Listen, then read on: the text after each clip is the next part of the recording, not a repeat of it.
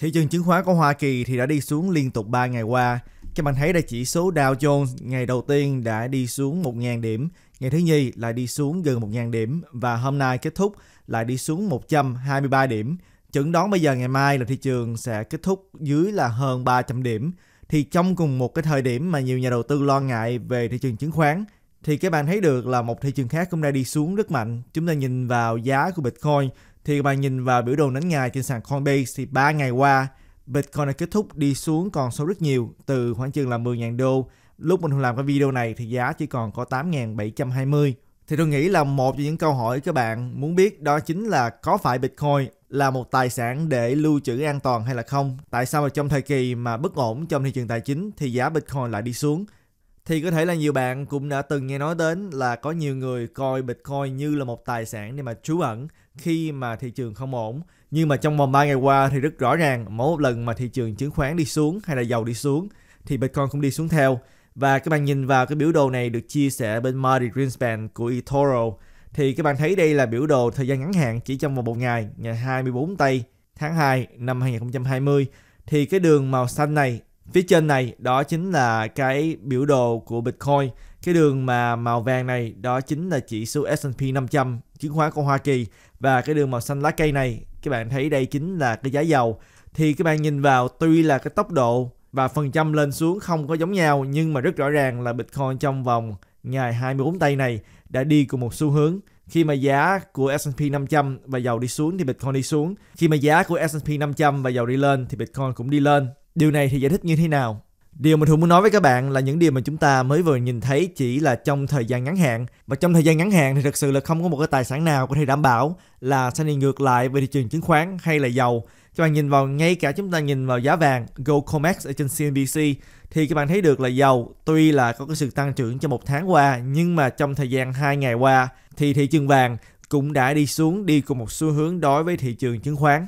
Cho nên các bạn thấy là ngay cả vàng trong thời gian ngắn hạn vài ngày thì chúng ta cũng không thấy được cái sự đi ngược lại đối với thị trường chứng khoán và thị trường dầu. Thì một lý do tôi có thể chia sẻ với các bạn là trong thời gian ngắn hạn, khi mà có một cái sự kiện lớn xảy ra, thì sẽ có nhiều nhà đầu tư, có nhiều suy nghĩ khác nhau và một số nhà đầu tư, họ sẽ lấy những tin tức mới nhất để mà điều chỉnh tầm nhìn của mình về giá cả một cái tài sản nào đó, tính theo cái phần trăm rủi ro và bên kia, những người mà đầu tư lâu dài vào cái tài sản đó thì họ sẽ nghĩ là thời điểm mà giá đi xuống là lúc tốt để mà mua tích lũy thêm, cho nên sẽ có hai bên, một bên điều chỉnh giá xuống, một bên mua và đẩy giá lên. Và trong thời gian ngắn hạn, điều này sẽ xảy ra đối với tất cả các loại tài sản khi mà có một tin tức xấu lớn xảy ra. Và chúng ta có thể thấy được điều này thông qua cái biểu đồ VIX. Đây là cái biểu đồ mà đo cái sự dao động giá trong thị trường chứng khoán. Thì các bạn thấy được là trong thời gian gần đây, cái điểm VIX, tính cái sự dao động của chứng khoán đã tăng lên rất nhiều nhưng mà đó là chúng ta nói tới trong thời gian ngắn hạn. Trong thời gian dài hạn, như là chúng ta nhìn vào vàng trong vòng một năm qua, thì các bạn thấy là trong vòng một năm qua, vàng vẫn tiếp tục tăng lên. Bắt đầu một năm trước đây là khoảng 1284 bây giờ là 1652 cho nên, vàng trong thời gian dài hạn vẫn cho thấy được cái bản chất là một cái loại tài sản nên được lưu trữ khi mà thị trường không được ổn. Nhưng mà trong thời gian ngắn hạn thì không ai biết được giá vàng hoàn toàn có thể đi theo cùng một xu hướng với lại chứng khoán và dầu. Cho đến khi nào mà các nhà đầu tư nghĩ là giá đã được điều chỉnh tính theo cái độ rủi ro của cái sự kiện hiện tại và hiện tại là chúng ta đang đối đầu với lại cái sự kiện dịch bệnh. Và đó là chúng ta nói tới vàng, Bitcoin thì như thế nào? Đó chính là điều mà chúng ta sẽ nói tới tiếp tục nhưng mà trước khi mà chúng ta đi vào thêm chi tiết thì cũng như thường lệ, tất cả chỉ vì mục đích thông tin và không được xem là lời khuyên đầu tư. Và nếu như các bạn nhận được giá trị trong video ngày hôm nay, hay là các bạn thích những cái video tương tự, thì các bạn đừng quên nhấn cái nút like và đăng ký vào kênh để giúp kênh được tiếp tục phát triển. Khi mà chúng ta nhìn vào Bitcoin thì các bạn thấy được là sự thật thì trong vòng một năm qua, từ bắt đầu là từ tháng 3 năm 2019 thì giá Bitcoin lúc đó chỉ khoảng là 3.700 đô, bây giờ là 8.727 thì giá Bitcoin cũng đã tăng lên rất nhiều các bạn thấy là tăng lên gần như là 3 lần như vậy thì có phải Bitcoin cũng là một tài sản nên được lưu trữ trong thời kỳ mà không được ổn trong thị trường hay là không? Thì chúng ta cũng chưa thể đưa ra kết luận như vậy. Tại sao? Tại vì trước hết chúng ta hãy nói về cái định nghĩa là tài sản an toàn lưu trữ khi mà thị trường không ổn là như thế nào. Thị trường không ổn là lý do tại sao. Thì nếu như chúng ta nhìn vào thời điểm hiện tại thì câu hỏi là tại sao giá chứng khoán đã đi xuống? Nhiều bạn thì có thể nói là rất đơn giản là tại vì liên quan tới cái dịch bệnh. Nhưng mà dịch bệnh chỉ là một cái nguyên nhân. Lý do mà tại sao giá cổ phiếu đi xuống trong vòng mấy ngày qua đó chính là liên quan tới các nhà đầu tư. Họ đã điều chỉnh lại cái kỳ vọng của mình vào cái sự thu nhập của các công ty ở trên thị trường chứng khoán của Hoa Kỳ. Vì dịch bệnh sẽ làm ảnh hưởng đến thu nhập của các công ty đó. Đó chính là lý do tại sao giá cổ phiếu đi xuống. Chúng ta cũng đã từng nói tới trong các video trước đây là những công ty nhỏ ở những nước mà bị ảnh hưởng trực tiếp như là ở Trung Quốc. Thì đương nhiên những công ty nhỏ sẽ có nhiều công ty sẽ bị phá sản nếu như mà dịch bệnh cứ kéo dài.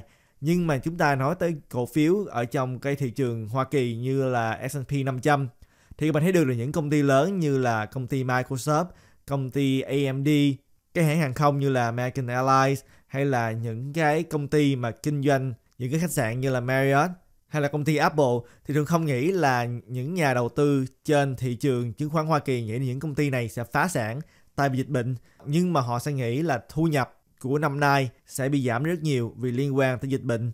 Vì lý do đó, giá cổ phiếu đã phản ánh lại cái tầm nhìn và tâm lý hiện tại của các nhà đầu tư chứng khoán ở Hoa Kỳ.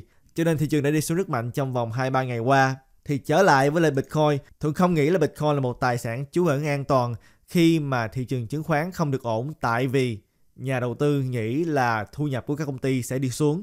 Nhưng mà Bitcoin có thể là một cái tài sản lưu trữ an toàn khi mà có sự khủng hoảng liên quan tới chính trị hay là những cái việc liên quan tới siêu lạm phát chúng ta cũng đã từng nói tới những điều như là liên quan tới Hồng Kông hay là liên quan tới Argentina. Gần đây các bạn thấy là cái giá Bitcoin cũng đã tăng lên trong thời kỳ căng thẳng chính trị giữa Hoa Kỳ và Iran. Nhưng mà điều quan trọng nhất là các bạn cần nên biết là chúng ta thật sự là không có đầy đủ tài liệu và cũng không biết được là nếu như khủng hoảng tài chính thật sự xảy ra thì Bitcoin giá sẽ ra sao. Nhiều người thì có lòng tin là giá sẽ tăng lên, Thuận cũng hy vọng là như vậy, nhưng mà Bitcoin hoàn toàn có thể là cùng đi xuống cùng cổ phiếu. Tại vì nếu như thị trường Bitcoin là có nhiều nhà đầu tư, nhiều nhà đầu cơ thì họ sẽ coi Bitcoin như là một tài sản có tính rủi ro cao. Chỉ khi nào mà thị trường tốt thì họ đầu tư vào để có lợi nhuận cao hơn là các mảng đầu tư khác. Nhưng mà khi thị trường xấu thì họ sẽ bỏ tất cả các mảng đầu tư mà họ cho là có cái sự nguy hiểm cao và để tìm vào những tài sản an toàn hơn như là vàng, như là bạc hay là tiền mặt.